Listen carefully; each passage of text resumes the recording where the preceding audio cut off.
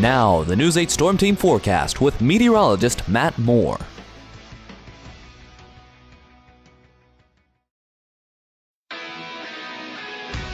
Now, the News 8 Storm Team forecast with Chief Meteorologist Joe Calhoun.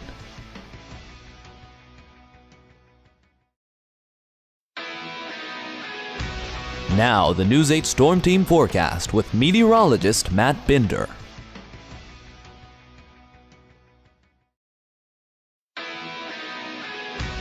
Now, the News 8 Storm Team forecast with meteorologist Christine Ferreira.